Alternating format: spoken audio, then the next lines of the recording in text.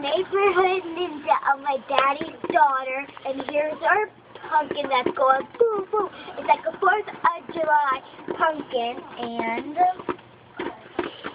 here's a pumpkin.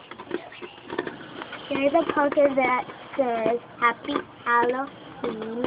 And I painted this, so look at it it kind of says everywhere. So Whoa, look at that. So enjoy the like the pumpkin. Woo! A magic pumpkin, huh? It's a magic pumpkin.